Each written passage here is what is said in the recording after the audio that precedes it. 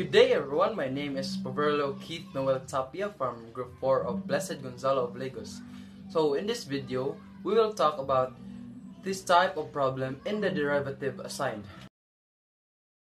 To solve the problem, let 4 times square root of x be fx and let x squared minus 3 be gx. Then, we use the formula derivative of fx over gx. gx times derivative of fx minus fx times derivative of gx over gx squared.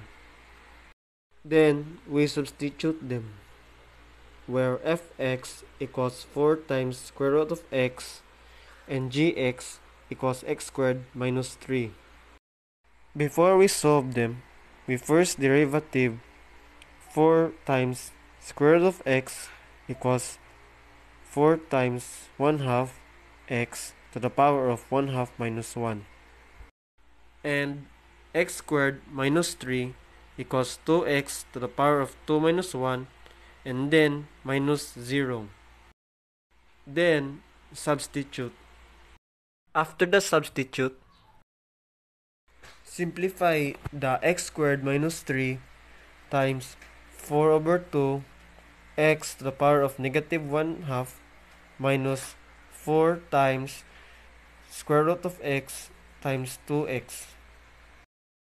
Further simplify them. So it will be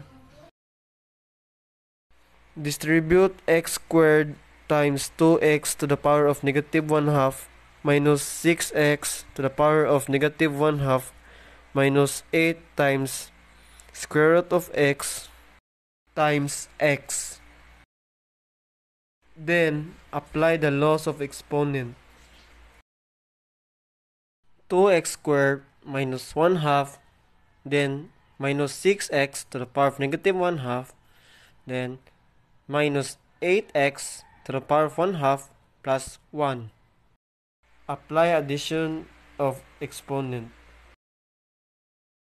2x to the power of 3 over 2 minus 6x to the power of negative 1 half minus 8x to the power of 3 over 2. Combine like terms. 2x to the power of 3 over 2 minus 8x to the power of 3 over 2 minus 6x to the power of negative 1 half. Then 2x to the power of 3 over 2 minus 8x to the power of 3 over 2 equals negative 6x to the power of 3 over 2. Take the common or factor the negative 6x to the power of 3 over 2 minus 6x to the power of negative 1 half which is negative 6x to the power of negative 1 half times x squared plus 1. Since the exponent of the negative 6 is negative, we transfer the exponent to the denominator in order to become positive. And now there you go. You have now the final answer. That's all everyone, I hope this video did help you and can help you. Thank you and God bless.